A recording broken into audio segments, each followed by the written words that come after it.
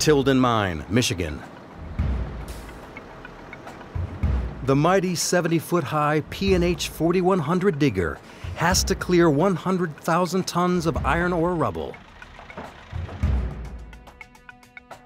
But for shift supervisor Mike, the new day starts with a new challenge. We got this 44 dozer stuck on the concentrate pile here. Be right there. Uh, you guys just hang tight. Damn it, there's a dozer right there stuck on the top of the concentrate pile.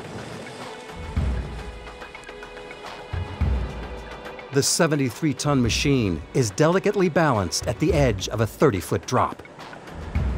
Got too close to the edge. It's like quicksand out there. She went down, sinking.